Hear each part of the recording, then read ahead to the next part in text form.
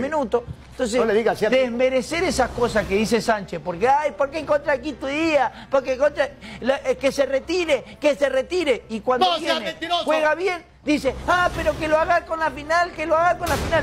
Esa cosa me rompe los huevos. Sí, es porque- rompe los huevos. Ah, bueno.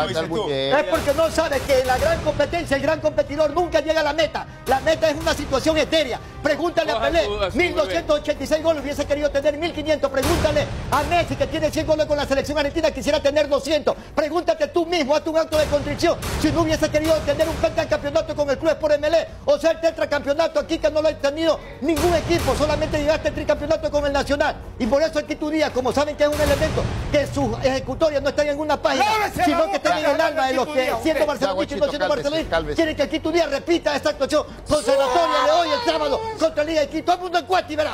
Hugo Alegre. Yo ya lo acosté, chino, no necesito hablar gritando. Bueno. No hay nada bueno en el